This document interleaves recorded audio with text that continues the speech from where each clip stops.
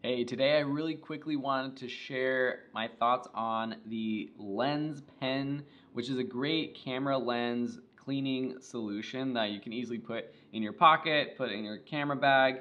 And I've had the wipes, I've had, you know, the other kits, but since getting this as a test from LensPen, I've actually really, really enjoyed it.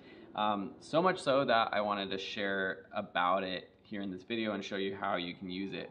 So the LensPen comes with two sides. One is a brush, which is a nice, uh, I think they said it's goat hair brush, which apparently is good for cleaning lenses. And it's like a typical brush. You can, you know, get all the kind of dust off, the stuff that comes off easily. Can you hear that police helicopter? because it sounds like it's really close.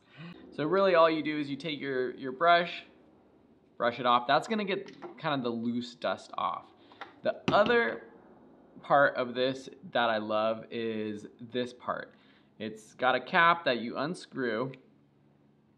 This has like super fine microfiber, carbon fiber bristles that are soft for lenses, so safe for lenses, and this is gonna get all those smudges off.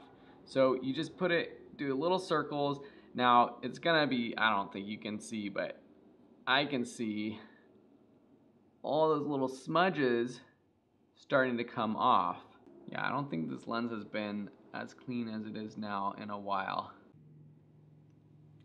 Might be a little hard for you to tell with the reflection. But LensPen, super cool. Um, I was a little bit hesitant about trying it out because I only like trying stuff out that um, I know my audience is really, really going to want.